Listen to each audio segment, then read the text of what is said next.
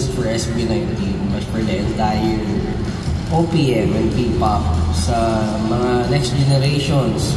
Marami pang mas magiging, syempre, may magpa-flourish yung mga ginagawa natin ngayon. And kasama kayo doon, isa kayo sa mga, actually, kayo yung highlight doon eh. Kasi sa ginagawa natin, ginagawa nyo, parang marami tayong natutulungan, marami tayong na-inspire. So, ayun lang, maging, mas maging ano tayo, mas maging masaya tayo with everything. I-celebrate natin lahat ng achievements sa atin man o hindi. Ayun.